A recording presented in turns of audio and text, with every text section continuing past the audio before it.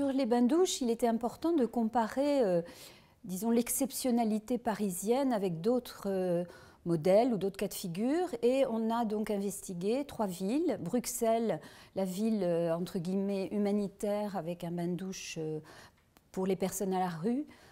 Turin, au contraire, un modèle associatif très mixte socialement comme une maison de quartier, et finalement Londres, la ville euh, bah, de, l'ultralibéralisme euh, des années Thatcher, qui a fermé pratiquement tous ses bains-douches alors qu'elle était pionnière en la matière.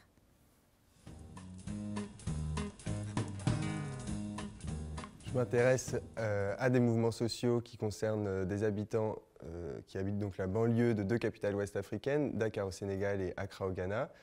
C'est des mouvements sociaux qui, visent à lutter contre les inondations qui affectent donc les quartiers informels euh, de, ces banlieues et qui ont la particularité d'être connectés entre eux, donc entre Dakar et Accra, via un réseau international.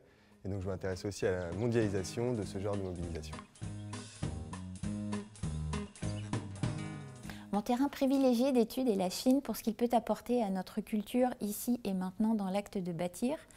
Mon point de départ a été le lien des hommes à la nature en ville, puisqu'aujourd'hui, un homme sur deux habite majoritairement en ville, et d'aller au-delà du discours qui est seulement technologique, mais d'apporter de la poésie par la compréhension d'un territoire qui nous est méconnu, par une culture différente. Donc l'intérêt, c'est d'aller à la recherche à la rencontre des hommes en Chine et à la fois de leur culture traditionnelle par la peinture, par de la poésie, pour apporter de la poésie aujourd'hui en ville.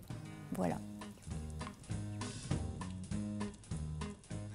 Tel Aviv, euh, c'est d'abord un choc pour moi qui venais à l'époque de Suisse. C'est euh, une rencontre et une passion. C'est là où j'ai euh, d'abord fait mon premier travail de recherche en maîtrise et puis ma thèse.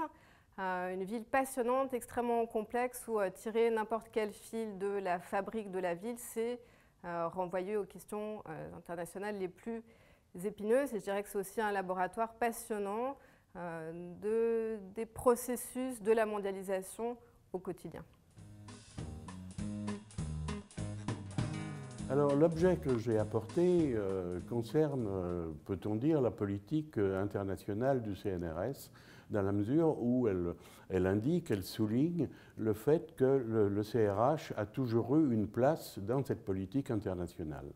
Alors en l'occurrence, il s'agit d'un objet chinois, dont je suis personnellement assez fier, puisqu'il s'agit d'une sorte d'Oscar, un award, comme disent les anglo-saxons, qui m'a été décerné par la province du Hubei, où la ville de Voran, avec laquelle nous avons eu des coopérations, est installée, et qui m'a été donc décerné pour service rendu au développement économique, social, culturel et bien évidemment universitaire.